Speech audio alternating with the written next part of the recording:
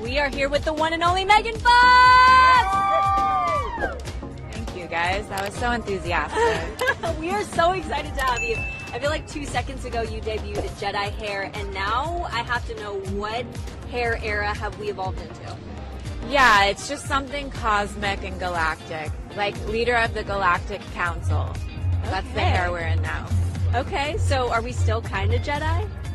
Yeah, it's all some sort of like space, new age, Okay. cult.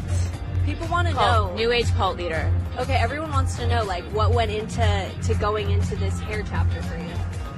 I think I just bleached it for the first time in my life. I always had pretty much virgin hair, and I bleached it, and you know, bleaching it kind of destroys it. And so now that it's wrecked, I might as well just cycle through every color and see which one I like and just have fun. Because once I go dark again, I'm probably just going to stay like that forever, or at least for a lot of years. So I might as well just have fun with it right now. Okay, she's a fun girly. Yeah. I love it. And your outfit. Tell me about this. Tell me about today's Revolve Fest look.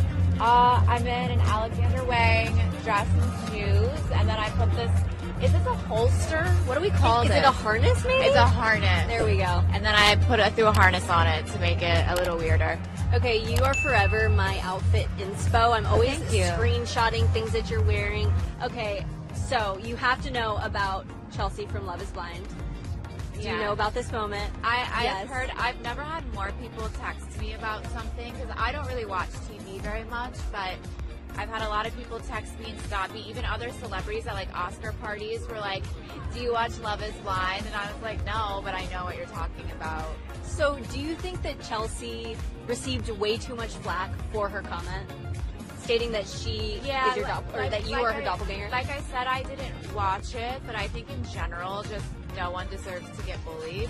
And I, I did see a picture of her, and I guarantee you, she has like very blue, like slightly slatted almond-shaped eyes. A hundred thousand percent people have told her you kind of look like Megan Fox. So I believe she's telling the truth, and I hope like she still has that sparkle in her eye. I hope the world didn't steal it from her. Mine, mine died long ago from being bullied for 20 years. So I hope that didn't happen to her.